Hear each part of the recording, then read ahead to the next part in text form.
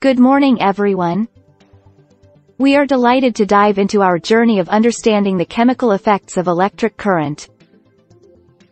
We will cover a variety of topics and explore the way electricity behaves when interacting with chemical substances. We hope you enjoy this presentation and come away with a better understanding of electricity and its chemical effects. Let's get started. Electric current can have both powerful and subtle effects on chemical systems. This slide is about two types of conduction testers used to assess the material's capacity to conduct electricity. A conduction tester with a torch bulb is made up of an electric cell and a torch bulb, where one terminal of each is connected by means of a wire.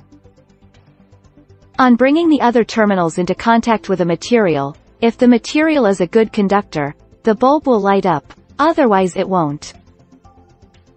The second type of conduction tester is the circuit's S3 checking tester which is able to measure a bigger range of conductivity. In both cases, having knowledge of the material's capability to carry electricity can ensure efficient usage of electric current. LEDs, or light-emitting diodes, can be a great option for testing the conductivity of a circuit. Unlike bulbs, LEDs do not require a lot of current to work. This makes them suitable for circuits with a weak current.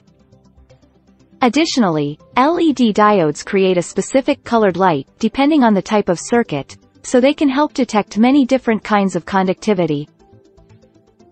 Electric current can have a powerful effect on other materials which can be easily demonstrated by using an electric conduction tester.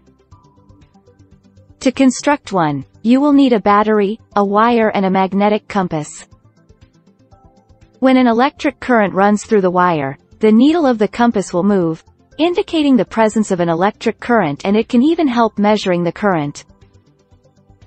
This experiment is great for teaching children about the power of electricity. Electricity has different effects on solids due to their electrical properties. Metals such as copper, steel, iron, and aluminium are good conductors of electricity, while wood, plastic, rubber, and glass are poor conductors. Depending on the electrical properties of the material and the amount of current passed through it, the effects of electricity on these materials can vary. For example, when an electric current is passed through copper, chemical reactions may occur that change the material's basic structure.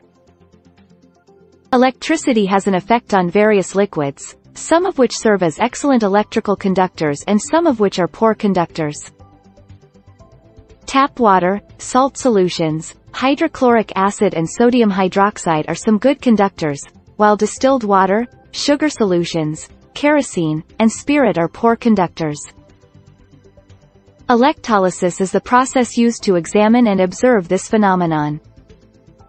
Electric current has the capability to spark chemical reactions, termed the chemical effect of electric current. Passing electric current through a conducting solution can result in gas bubbles forming at the electrodes, metal being deposited on the electrodes, and a shift in the solution's color. All of these reactions are triggered by the electric current in the solution. This is an instance of electrolysis. Electrolysis of water is an incredible process in which an electric current is passed through the water, resulting in it being split into hydrogen and oxygen gases. The oxygen is produced at the electrode attached to the positive terminal of the battery while the hydrogen is created at the electrode connected to the negative terminal of the battery. This method has many uses, such as energy production, water purification, and waste disposal. Electroplating is a widely used industrial process which utilizes the chemical effects of electric current to apply a layer of metal on another material.